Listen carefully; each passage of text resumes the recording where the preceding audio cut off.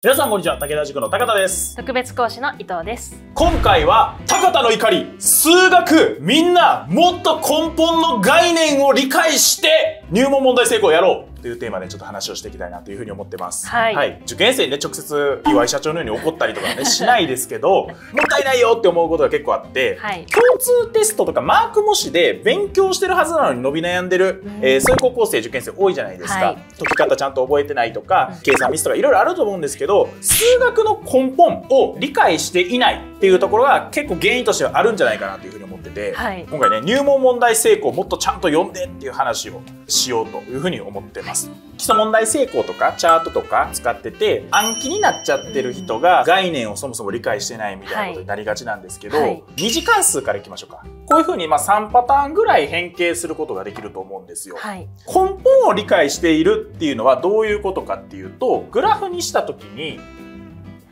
例えばこの式を見たらこの原点が PQ だなってすぐ分かるっていうことが式の意味を理解しているっていうことだと思うんですね。あるいはこの式を見たら大きさは後で考えましょう。S とか Y あこれ Y でした。ミスがありました。S とか T ですね。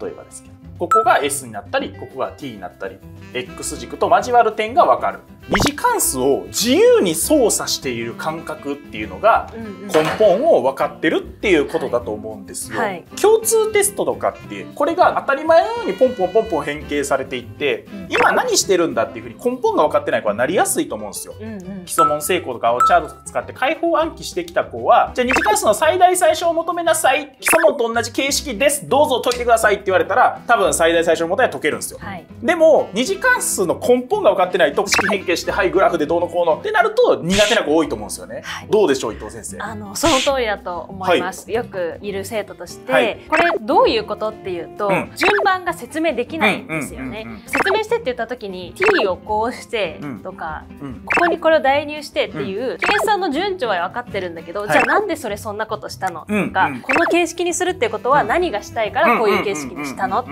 んうんうんうんていうのが分かってないんですよね。狙いとかうん。目的とか意図っていうところが言えてないと。はい。い。うことですね。はい、この式って何のためにあるの、うんうんうん X 軸との交点を求めるためにあるよとか、こっちは原点を求めるためにあるよっていうのが分かってないと、そういうの説明できませんし、うん。共通テストだと説明なく次の変形を答えさせるじゃないですか、本来の解き方の意図を想像しないうんうんうんでそういうのを当てはめるときにやっぱりこういう知識が必要になるので、うん。すごい大事な考え方だと思います。そうですね式の意味とか考え方とかなぜそういう変形をするのかとかが入門成功には結構書いてあるんですよ、はい。伊藤先生もね事前に読んでもらいましたけど結構詳しいですよね、はい、教科書よりも詳しいというか、はいはい。こういう式ってどういう意味があるのかっていうのを具体的に説明してくれているので、本質を理解しようっていう視点をくれる参考書かなと思います。おありがとうございます。自分がね武田塾の生徒とかを特に見てて基礎問成功だけだと詰まりやすい分野はい。があるなというふうに思ってますと。どんな分野かっていうと場合の数確率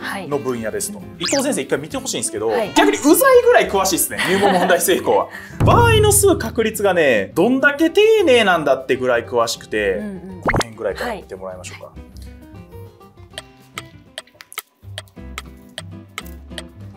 え方詳しくないですか？はい、詳しいですけど、うざいぐらいではないと思あ、ごめんなさい。いました。はい。言葉が悪かった。あの、はいはいはい。このぐらはいい必要だと思います。うん場合の数、確率って、考え方がすごい大事なんですよ。うん。うん。もうそこすべてですね。はい、うんこれとこれを区別するとか、うんうんこれとこれを同じとして見なすとか、こういうマインドセットでやっていくぞっていうところが、マインドセット確かに。マインドセットっすね、場合の数確率は。すごく大事ですけど、しっかり身につけるためにはこのぐらい必要だと思いますよ。特に参考書で勉強する場合はなおさらそうですね。はいそうです。の数確率は基礎問とかよりも逆に入門成功の方がうん。結構生徒の成績変わってるなっていうふうに入門成功結構舐められがちですけど、うん。えーそこはしっかりやってほしいなとい。うふうに思いますね。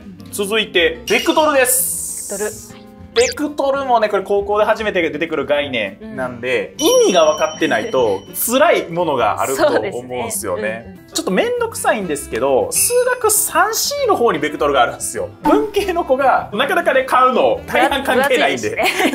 騙されたと思って買ってみって言って、ベクトル読んでくれた子は、それで理解めちゃめちゃ増してるんで、ベクトルのためだけでも買う価値はあるなというふうに思ってます。はい、と、で読みながらでいいんですけど、はい、自分がね、よくするのは、S 倍とか T 倍とか、はいはい、S たす T が範囲が小なりイコール1とか、うん、S たす T がイコール1とか、これが何を表してるのかっていうのが、ちゃんと理解しといてほしいなっていうふうに思ってて。はい。大体図形を表すときには、これで出てきますもんね。そうなんです、そうなんです、そうなんです。範囲が示してるのが、ベクトルの図形で言うと、どの部分なのか、うん、線分なのか、直線なのか、図形の領域なのか、そういうところをちゃんと見ていかないといけないという。はい、それが分かってますかと。ここ超重要なんですけど、意外とベクトルとはっていうのがね、分かってない人は多いと思うんで、入門成功しっかり読んでほしいですね。うん基本となるベクトルを伸ばしたり、反対側に行ったり、こういうイメージが大事なんですけど、そういうのってやっぱり文字だと伝えづらいじゃないですか。そうですね。そういうのをかなり丁寧にイメージしやすく書いてくれてると思います、そうですね。基礎問遂行とかだとやっぱり1ページで1問っていう決まってるんで、表現しきれないことが入門成功だと原理原則に立ち返って説明してくれてると。はい、ベクトルってめっちゃ面白い概念やと思うんですよね。はい、P って場所を表す時も、2つのベクトルさえあればそれを伸び縮みさせて、それを組み合わせて1つの場所に行けるようにするみたいな。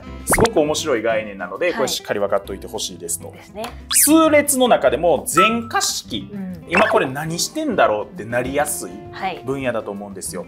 全化式ももちろん入門成功詳しく載ってます。場合の数組み合わせと順列の違い、はい、ここでは順列で計算するのかここでは組み合わせで計算するのかっていうのは分かってない場合多かったり。あとは三角比のところですね、はい、θ プラス90度にしたらどうなるのかっていうのが記憶になっちゃってる子、はい、じゃなくて単位円でこういうふうに考えられるようにしようとか、三角関数のところも単位円で考えられるようにしようとか。根本の原理原則が学べる本になってるんで、めちゃくちゃ大事だなというふうに思います。そうですね。身についてるかのチェックって、うん、自分で説明できるだと思うんですよ。例えば P と C の違いって何？って言われた時に順列と組み合わせじゃなくて何が結局違うのかっていうところだったりとかベクトルってそもそも何なの？電化式ってどういうものなのっていうところが自分で説明できるようになってるかっていうのをもう一回ちょっと確認してほしいですよね。自分に腑に落ちてる感っていうのがめっちゃ大事だと思ってて、問題の真似をしてるみたいな状態だとやっぱ共通テストとかで特に苦戦しやすいかなと思います。なので自分が不安な分野だけでもいいので入門成功の、えー、そういうところはちゃんと見ておいてほしいなというふうに思います。はい、はい、というわけで数学の原理原則概念の部分を大事にしようっていうのが今回のメインテーマでした。